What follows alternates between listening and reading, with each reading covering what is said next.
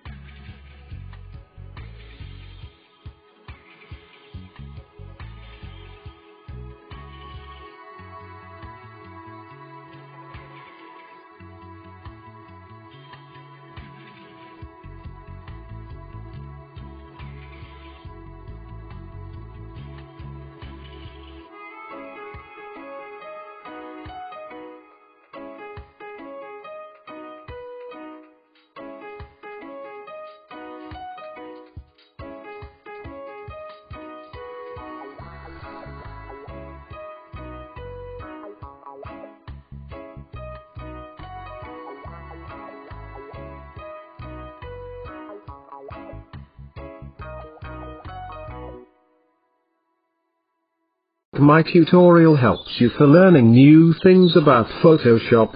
And I hope you like this tutorial. Don't forget to comment with the most important thing you find in this tutorial.